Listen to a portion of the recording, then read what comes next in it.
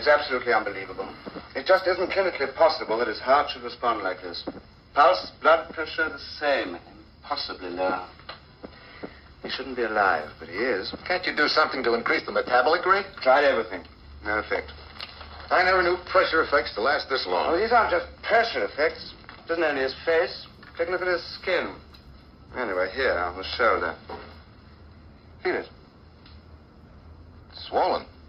Coarsened. Yes, and that's not all either. Look at the contour of the face. You mean the bone structure? Yes, I could be wrong about a limb, but not about the shape of the bones. There's been a change. I'm convinced of that.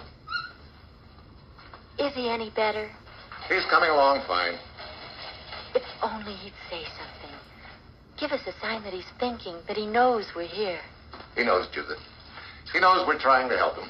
What is happening to him? Well, that's what we're trying to find out. Shouldn't he be in a hospital?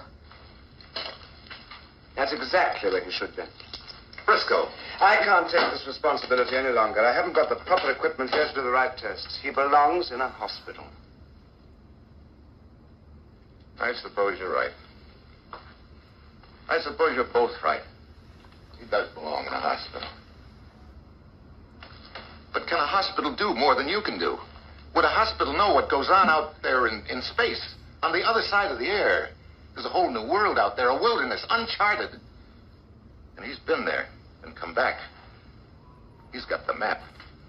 Unlock his mind for me, Briscoe, and find it. I know you can do it. It isn't just a I question I know the strain and tension you've been under, but to stop now when we're so close, on the brink of something tremendous, the, the very fringe of some great discovery, we can't stop now, Briscoe.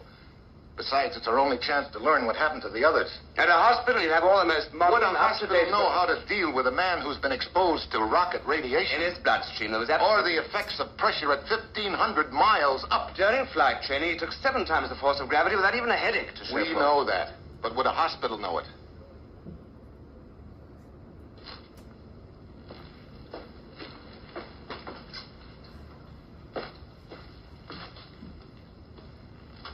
I'll try another transfusion, see if that'll help.